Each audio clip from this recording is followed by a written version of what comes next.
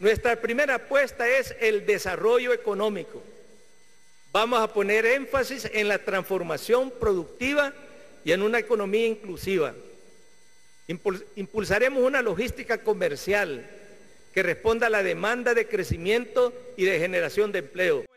Ese fue el compromiso del presidente Salvador Sánchez Serén hace cinco años, cuando tomó las riendas de El Salvador.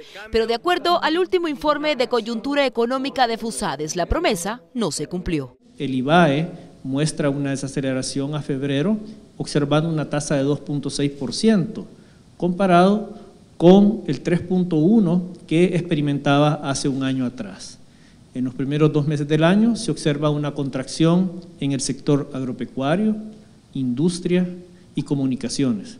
De acuerdo a Fusades, el gobierno saliente del FMLN estaría dejando un país más endeudado, pues los datos revelan que a finales del 2018 la deuda llegó a 18.420.3 millones de dólares y en marzo de 2019 era de 18.712 millones.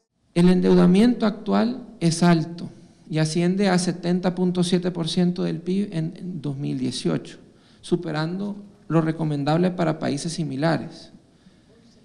Se necesita de un ahorro primario más alto para estabilizar o reducir la deuda.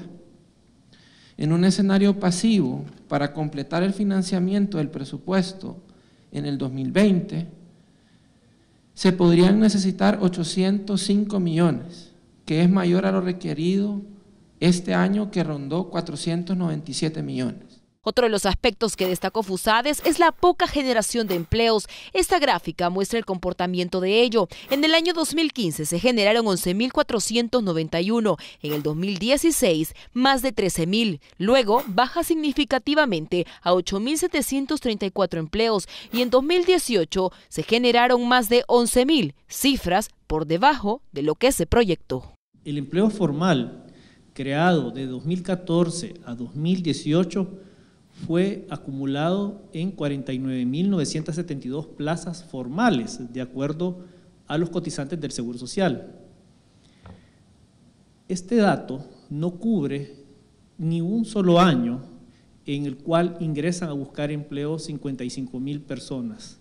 Entonces, una gran deuda, una gran deuda. En cuanto a la inversión extranjera directa, al cierre del 2018 fue de 839.6 millones de dólares, presentando una disminución de 5.6% y ubicando a El Salvador en la tercera posición dentro de los países de Centroamérica. Los dos factores principales que responden las empresas encuestadas que afectaron el clima son la incertidumbre económica que pasa a tomar primer lugar en los últimos tres trimestres y en segundo lugar sí se ubicó la inseguridad. En este sentido, el Departamento de Estudios Económicos de FUSADES también habló sobre los retos del próximo gobierno en esta materia, asegurando que tendrán que recuperar la inversión, generar confianza, hacer buen uso del gasto público y generar más fuentes de empleos.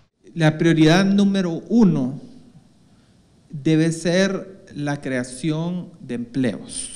Sí, este, y para esto tenemos que eh, ser muy enfáticos en la atracción de inversión extranjera directa y también del clima de inversión nacional para que tanto inversión nacional como inversión extranjera eh, pueda florecer en el país Además, recomendaron que el gabinete económico debe estar conformado por personas profesionales con experiencia y honradez. Para el noticiero, Claudia Campos.